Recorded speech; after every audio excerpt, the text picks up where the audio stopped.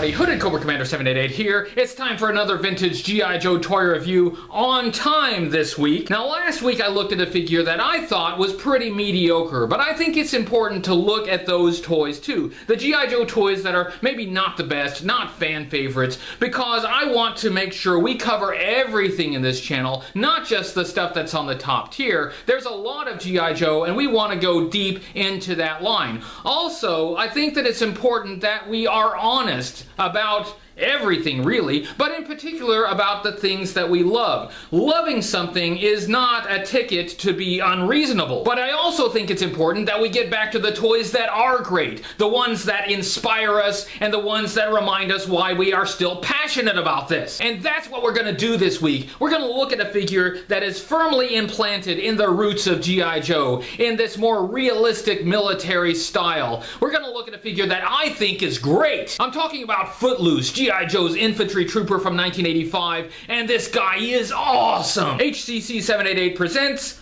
Footloose. This is Footloose, G.I. Joe's infantry trooper from 1985. He was first available in 1985 and he was also available in 1986. He was discontinued for the year 1987 and he did not have a precise replacement that year. Uh, although there was no new uh, non-specialized infantry trooper available in 1987, uh, the general look of Footloose was similar to Lieutenant Falcon from 1987. But Lieutenant Falcon was Special Forces and an officer, so I would not consider him to be a replacement for Footloose. In 1988, we got the Light Infantryman Hit and Run, and Hit and Run was closer to the role of Footloose as an infantry trooper. There was a second version of Footloose, the Slaughter's Marauders Footloose, in 1989, but there were no other versions of Footloose in the vintage line. Although there were only two versions of Footloose in the vintage line, his head was reused used on other action figures. It was used on Claymore in 1986 and Rumbler in 1987. Footloose was G.I. Joe's second generation infantryman. G.I. Joe's first infantry trooper was Grunt from 1982, the first series of the G.I. Joe line when it was relaunched that year. The G.I. Joe team consisted of a lot of specialists. We really didn't get very many non-specialized infantry troopers. Footloose probably gets his name from the 1984 movie Footloose, starring starring Kevin Bacon. Uh, it was a very popular movie, as was the song by the same name by Kenny Loggins. The movie and the song were from 1984, and the Footloose action figure came out in 1985, and I don't think that's a coincidence. G.I. Joe was never above capitalizing on the popularity of other properties. The word footloose comes from the old idiom footloose and fancy free, and that expression applies to someone who is not married and has no obligations, and therefore can do whatever whatever he or she wants. Someone who is footloose and fancy free is unencumbered by responsibilities. Let's take a look at Footloose's accessories, starting with his primary weapon, and this is an M16 rifle and it is a pretty good representation of that real world weapon. This M16 has a strap, and I like the strap. You can sling the rifle over the action figure's shoulder, but that strap is often broken. That's a very thin piece of plastic, and that can break. Also, it doesn't leave you a lot of space uh, between the grip and the strap to put the weapon in the action figure's hand. And I have noticed that the thumb on my Footloose action figure is kind of stretched out, probably for that reason. This same same rifle was reissued for a later action figure, the 1987 Sneak Peek. It is really nice to have a good realistic assault rifle with a G.I. Joe action figure, and I have to say I really like this accessory, and it continues the tradition of giving G.I. Joe infantry troopers M16s. Grunt also came with an M16 rifle. Grunt and Footloose's rifle are very similar, so similar it almost looks like they were based on the same mold. But there are some minor differences. The grip is different, there are some differences in the detail, uh, but they are very similar. And of course, the strap was added for Footloose. Footloose's next accessory is what the card contents call an M73A1 Laws. This accessory is possibly based on the M72 Law, or Light Anti-Tank Weapon. LAWS is an acronym for Light Anti-Armor Weapon System.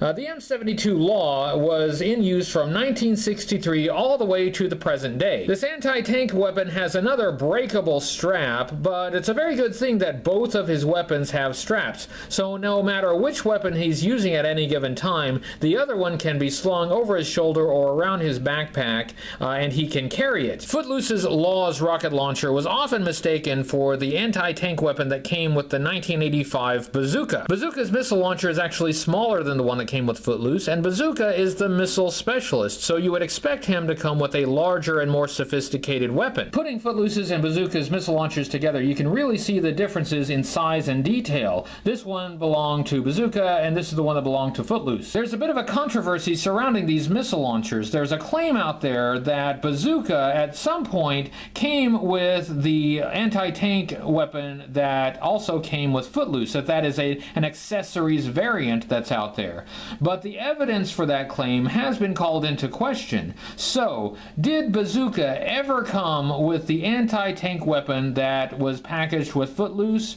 Uh, I don't know exactly, but I will look into it, and I will address that issue when I review Bazooka. Now, there's nothing wrong with this accessory. In fact, it's a really good accessory. It looks pretty awesome. It's nicely sculpted, but I just don't think Footloose needs it. He already has an awesome assault rifle. He has a great weapon, and this anti-tank weapon kind of makes Bazooka redundant. Footloose can do Job. Footloose's next accessory is his helmet, and this is a PASGT helmet, also called PASGET.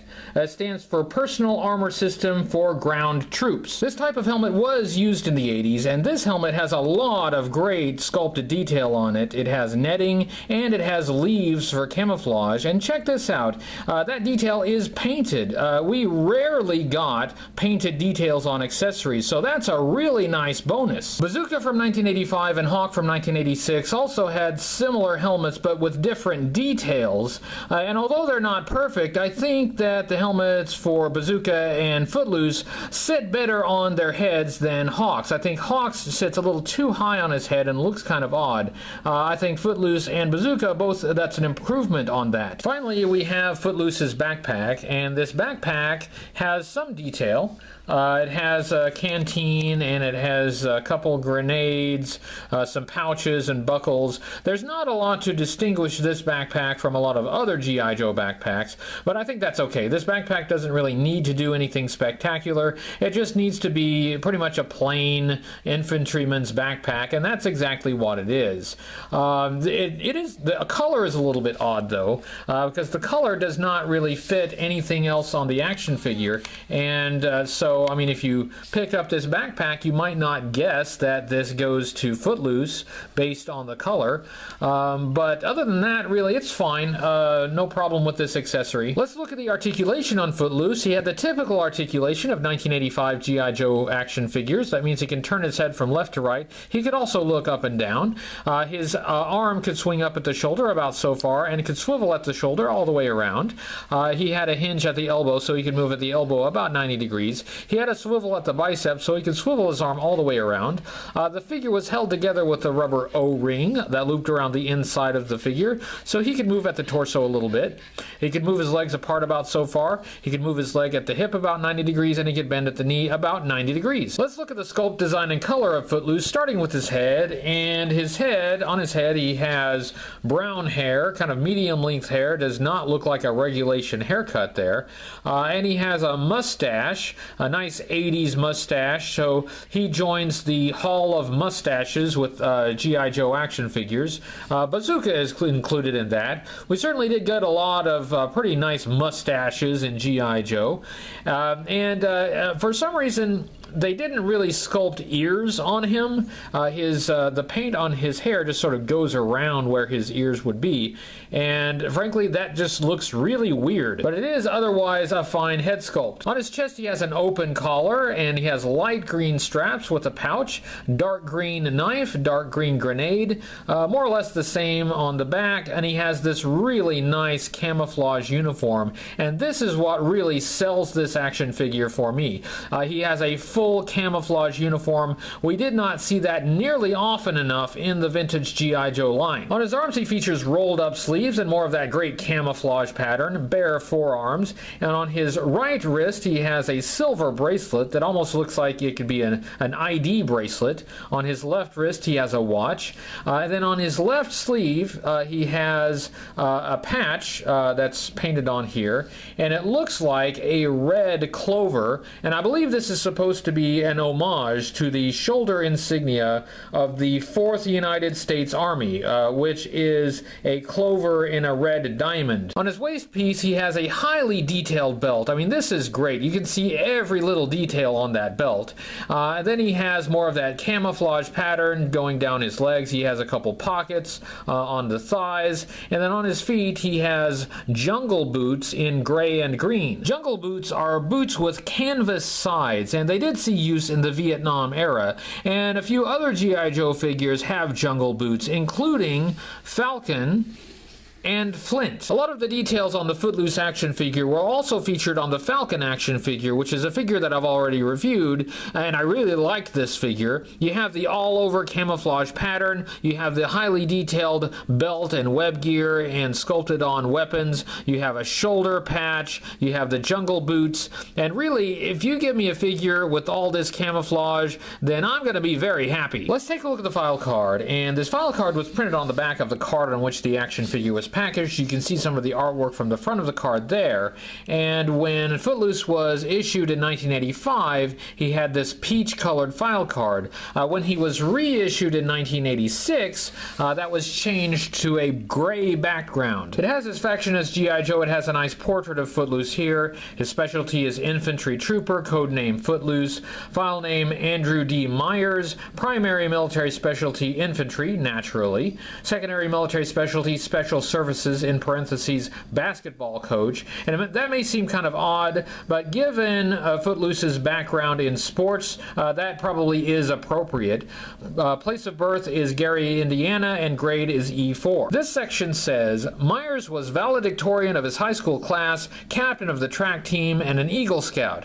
He was going for his degree in phys ed, physical education, on a state scholarship when he suddenly dropped out, moved to the coast, and became quite weird for about three years. Funny, I know people who have done more or less exactly that same thing. He was standing on the boardwalk in Venice, and that's probably the neighborhood in Los Angeles, California, not Venice, Italy, pondering something cosmic when the utter pointlessness of his existence hit him between the eyes like a runaway freight train. I think I'll join the army, he said, and promptly did. Took basic and AIT at Fort Benning, graduated jump school and desert training unit, qualified expert all NATO and Warsaw Pact small arms. AIT is Advanced Individual Training, and that's where soldiers receive training for their chosen MOS. So basically, this says Footloose was a beach bum, and he's probably not the first beach bum to have an existential crisis, but it's probably less common for a beach bum to conclude that he should join the army. So the cure to his meaningless existence is to get a job where he can shoot people. This bottom section has a quote. It says, some of the Joes think that Footloose is out there, but all he's trying to do is find himself. He's an all American boy who got lost on the way to the fair, and he's simply trying to get home any which way he can.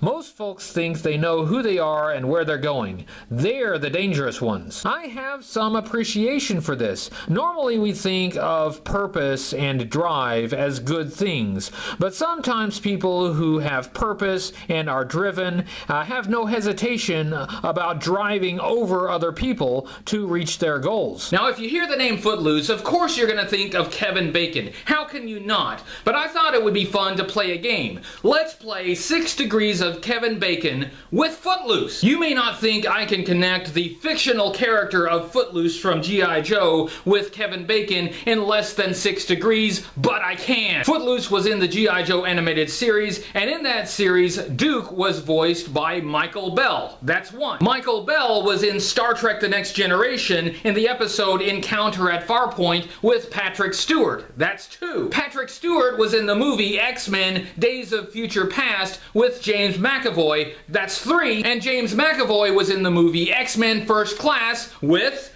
Kevin Bacon. That's four. Four moves. That's a great challenge for my viewers. Can you connect Footloose with Kevin Bacon in fewer than four moves? Give it a try and put your comments in this video. Footloose did have some appearances in G.I. Joe media. In the cartoon, he first appeared in Pyramid of Darkness Part 1, but he did not have a spoken line until Part 2. He was featured more in the episode Hearts and Cannons, and in the cartoon, he did kind of have a surfer persona. In the G.I. Joe book, he first appeared in issue number 37, and that surfer hippie aspect of his background was never really played up. In fact, in the comic book, he seemed sort of nervous and jittery. Footloose did not have a very good turn in that issue. Uh, his first appearance was somewhat overshadowed by the introduction of other important characters like Tomax and Xamot and Flint. Even Bongo the Balloon Bear got more attention in that issue than Footloose did. Footloose was criminally underutilized in the comic book. I mean, the comic book was going for more of a realistic feel than the cartoon series,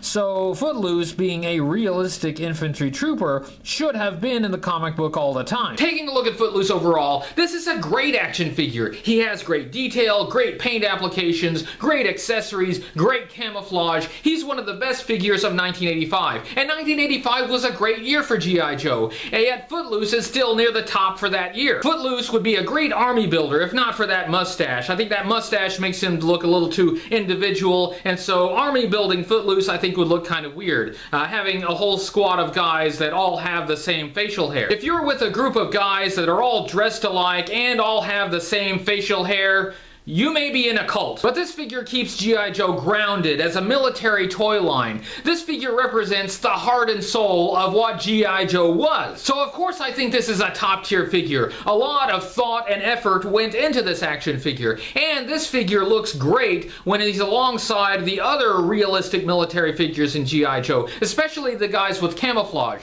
like Stalker, Ripcord, Falcon, and Hit and Run. I mean, those, those guys just look great together. So you can have your spaceman and your birdman and your hypnotist and your boxer, but Footloose is the real deal. That was my review of the 1985 G.I. Joe Infantry Trooper Footloose. I hope you enjoyed it. If you did, thumbs up on YouTube, subscribe on YouTube. That's what keeps this channel going. Like me on Facebook, follow me on Twitter, and don't forget to check back next week for another vintage G.I. Joe toy review. And until next time, remember only G.I. Joe is G.I. Joe.